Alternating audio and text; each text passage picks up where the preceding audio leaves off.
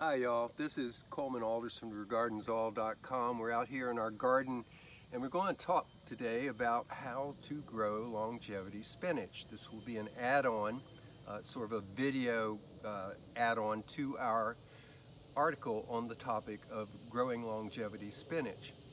Now, this is also called Gynura procumbens its origin is over in Asia where it's been grown for years and it's respected both as a nutritional source and also medicinal.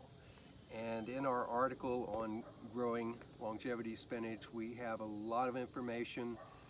A good bit of it is backed up by actual scientific studies by the National Institute of Health on the benefits. And they're wide ranging, everything from diabetes to heart to uh, relaxation to high blood pressure, all that. It's amazing what this plant can do. Now we're here, this started off, believe it or not, just two years ago as two plants and we propagated them. They grew into these wonderful other plants and we took clippings. And one of the reasons why it's called longevity spinach, it's a tropical plant and it can't take much cold but it's very easy to propagate. Um, all these that you see down through here are from clippings that we clipped off and either grew in water and the roots just came out like crazy or in some sort of soil medium, uh, usually potting soil. And we carried these through all the winter, brought them out here, and they have just flourished. It's amazing. Now, one of the reasons why we think our longevity spinach has flourished is we've added this fabric, this shade cloth. When we first got our plants and set them out in the sun, they didn't seem to like it very much. They were sort of blanching out and looked like they were actually getting a little sunburn. So we took to putting this cover over and it's been really great. It's, um, it's done a wonderful job. And as you can see, I mean, to go from a six inch cutting to this, it's actually a vine, right? So we're gonna be coming in here and uh, I'll just be taking larger branches and then we'll come along and we'll clip the leaves and uh, take the leaves, dry them out, and in some cases make tea. It's a delicious tea. If you add a little bit of, of uh, sweetener, like say maple syrup, a little dab of that in the tea, it really is very lovely and refreshing.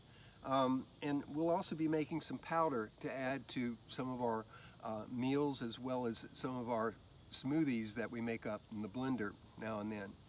Um, I could sing its praises all day, but I'd like y'all just to go up and read the article on growing longevity spinach and then let us know if you have any other follow-up questions. But right now, we're gonna start clipping all the way back to right about here.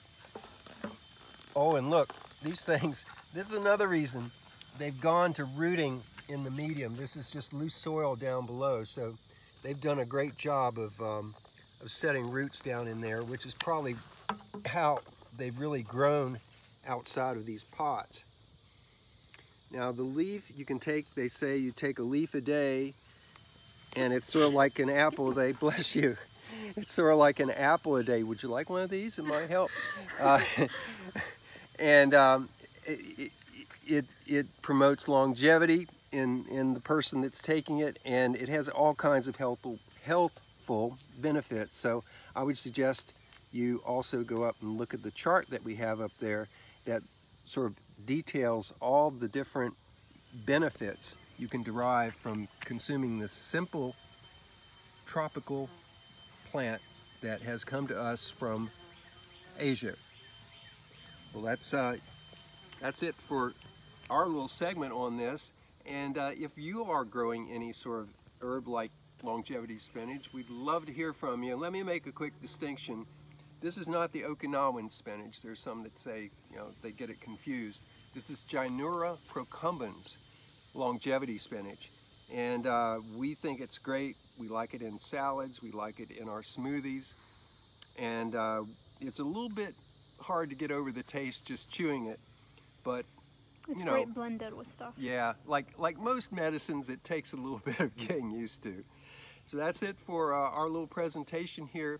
We hope uh, we'll uh, catch up with y'all once we get everything dried up and uh, in little baggies for making the tea and uh, going through the process of making powder out of this. But right now it's harvest day and uh, we got to get busy. So thanks for visiting. This is Coleman Alderson for GardensAll.com. So long.